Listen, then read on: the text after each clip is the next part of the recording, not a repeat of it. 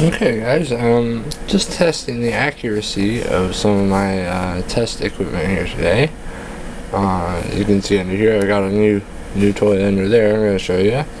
Um, but I'm going to start with a with a baseline so I can check to see how accurate these test tools I'm buying are. Makes sense. Um, it's not much useful, not very useful to you if it's not accurate. So, and as you see I have a glass of ice water here in this lovely pink cup. Um, and it's stabilized, whatever. Let the ice melt in there a little bit, so the temperature should be about consistent. And you see the Fieldpiece one, about 32.4.5. That's, you know, that's pretty darn close. That's uh, very responsive too take it out of the water. Yeah, so it's it's it's within a degree, and I'm I'm good with that. Now, now more. Next thing I'm gonna do is go uh, secure this to a known to to a pipe with a little Velcro strap, and then I'm gonna put see what temperature it reads. Then I'm gonna put my Fieldpiece clamp on there. This guy and see what it reads and see if these this thermocouple this little bead thermocouple and the clamp thermocouple from Fieldpiece agree. And if that is if those are good then I'm going to compare the Fieldpiece clamp to this new uh, Yellow Jacket. Uh, is a sub superheat and subcooling calculator. So basically you enter your suction pressure in there it has a built-in PT chart and you clamp your temperature on there it's like superheat or subcooling and it uh, makes a calculation for you now um, I swore I'd never do something like never buy a tool like this or digital gauges because I just don't need that whatever.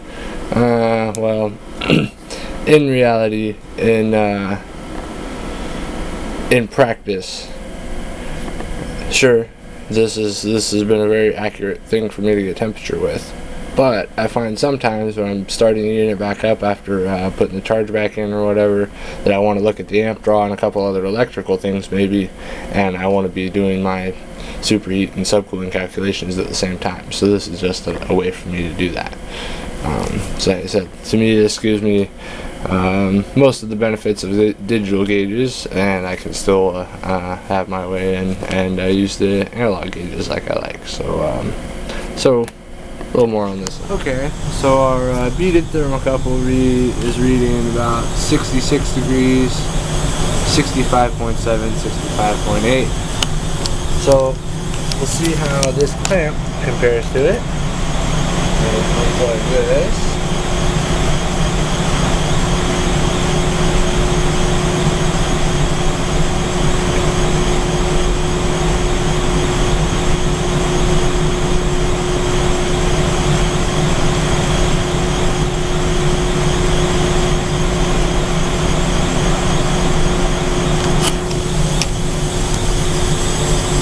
Okay, so this one's reading about 66.6, 0.7.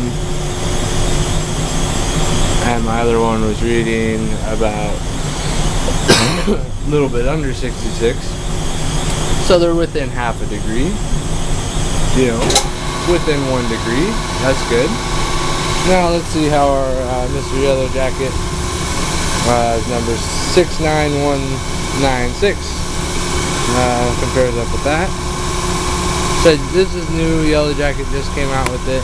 Um, now, if you're looking, I bought I bought this one without doing too much, uh, maybe without doing enough research.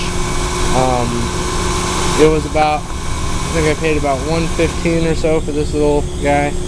Um, and Mastercool, there's one of these things where they have the exact same thing. There's a Mastercool brand um, as the exact same thing. I, I, just so happened to open this thing up and there's a master, the board in there says Mastercool.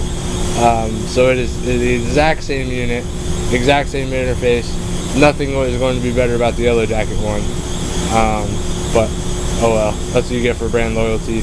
I like Yellow Jacket stuff, so I bought it. But uh, anyways, the uh, Mastercool one will be about 80 bucks.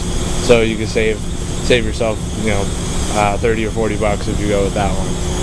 But seems like a worthwhile tool. Uh, I like it. So this clamp is still is yeah 66 and a half. So they're within half a degree. That's the Fieldpiece versus the Fieldpiece clamp versus the Fieldpiece uh, bead thermocouple. We'll uh, put this on here. Take this little bread tie off, damn it. Wish I had my, I forgot my hat cam today, folks. My bad. Right, 66 and a half. vacuum pump's loud. The first one on the side.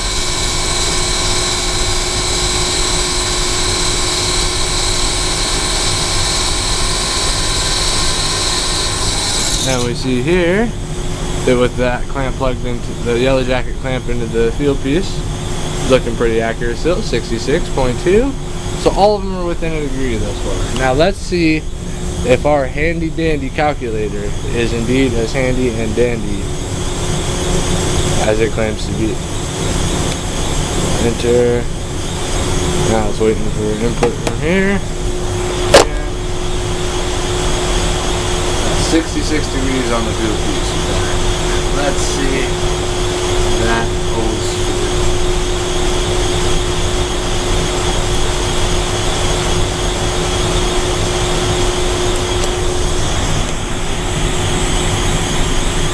Uh, 68. Hmm.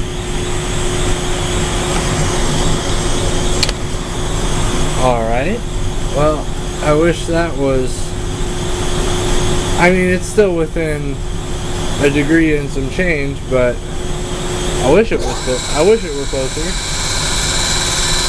Hmm.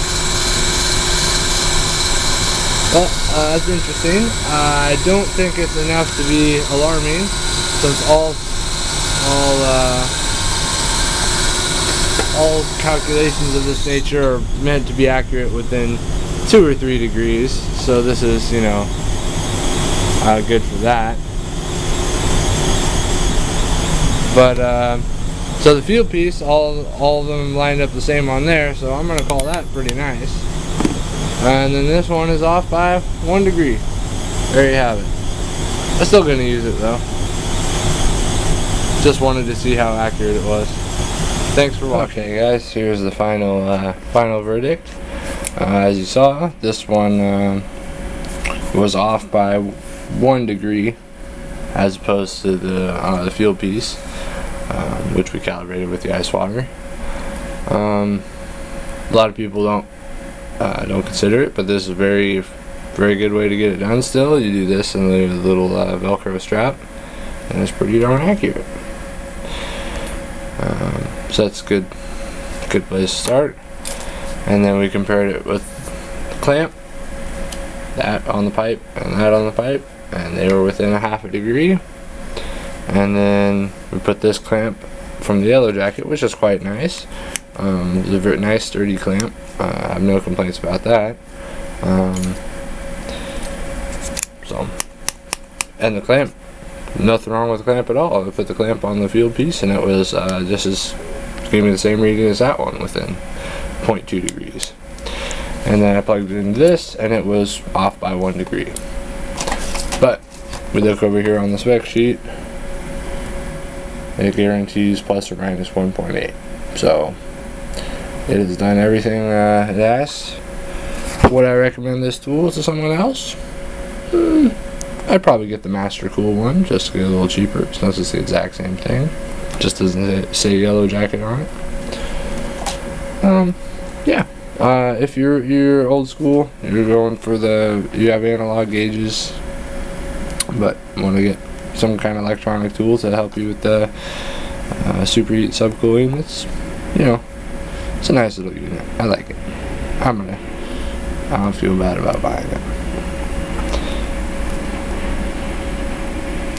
So, um, should have a new tool video coming up here pretty soon. Uh, this this just shipped a little earlier than everything else, so I wanted to do just a little uh, calibrate your instruments uh, video. And if you ever find that your Fieldpiece is off, uh, you can take it apart and there was uh, an adjustment. And you do it with the stabilized ice water. You just have to take this back part off and like hold the battery in with a rubber band or something. Um, and then you put your your beaded thermocouple on there and the stabilized ice water and then you can make an adjustment to adjust it as close to 32 as your uh, as your heart desires. So so that's that. Fieldpiece a little more accurate